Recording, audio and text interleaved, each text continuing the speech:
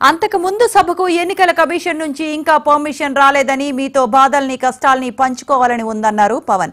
మరొక రోజు సమావేశాన్ని ఏర్పాటు చేసుకుందామన్నారు పవన్ కళ్యాణ్.